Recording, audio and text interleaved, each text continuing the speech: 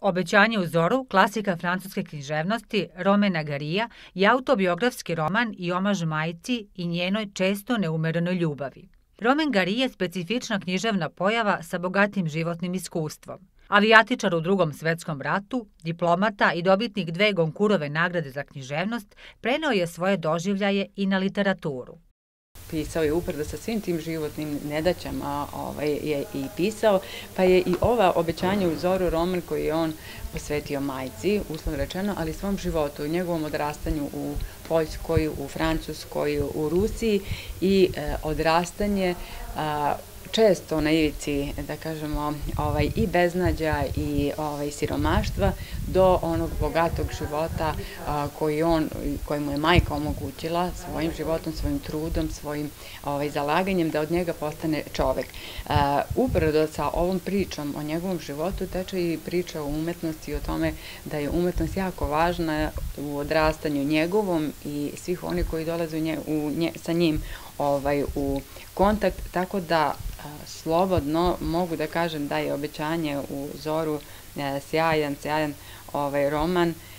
Kaput od Mahovine je roman mladog pista Stefana Mitića Tičmija, koji se nametnuo kao vešt poznavalac psihologije mladih, koji na putu odrastanja često zaboravljaju koliko su knjige i fantaziranje važni za razvoj svake ličnosti.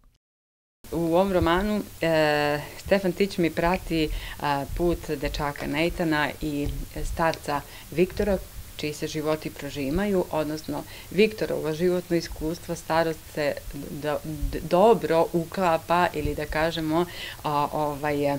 pomaže u odrastanju e, Neitana koji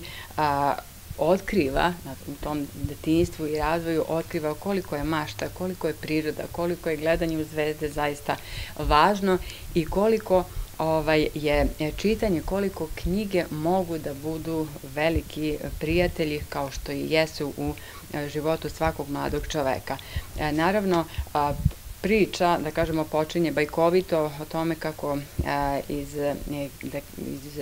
krila, odnosno iz tela dečaka izrasta, ovaj, izrasta drvo,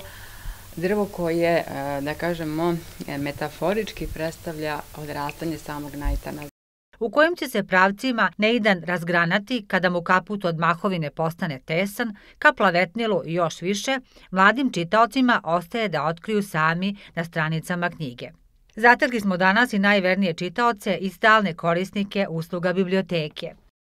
Oko 1600 knjiga, tačnije nede 1570 i ne, ne, ne mogu da. A ovaj, istorijski,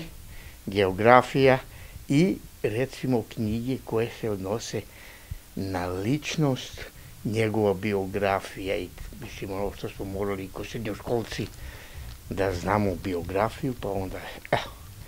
to je to. U biblioteci braća Nastasijević predlažu da prolećna popodneva provedete u dobrom društvu u čitanje knjiga.